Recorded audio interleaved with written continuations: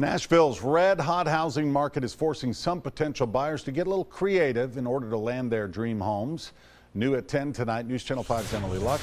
Luxen is live in Nashville with more on a different approach that one realtor and her client are using. Emily. Well, yeah, check out this letter. This is what they passed out to 1,000 homes in East Nashville. The goal was to tell a little more about the client and why he would be a good potential buyer. They were hoping that this would set him apart from the others, and it turned out it worked.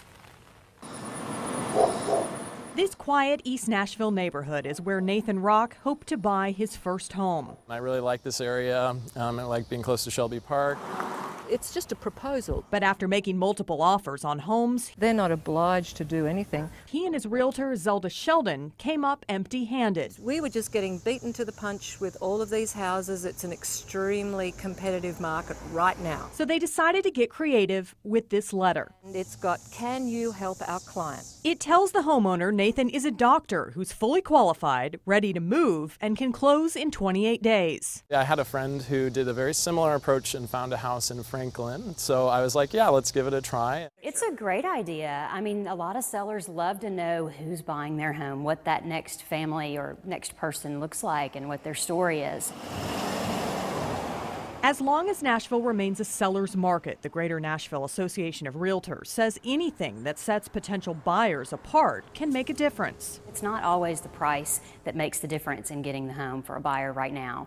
Um, I think it's extremely important to know what's important to the seller. What do they need? If you don't see something like the day it goes on the market, you're going to miss it. For Zelda and Nathan, you never but know until you ask. The unconventional approach worked. 12 people came forward with houses that they were interested in us coming to preview and to be considered. It kind of kept me motivated throughout the process because it can get kind of frustrating. And now, after months of work and waiting, Nathan is excited to move into his new home. Really ended up turning out really well, and I'm really happy with where we're at right now.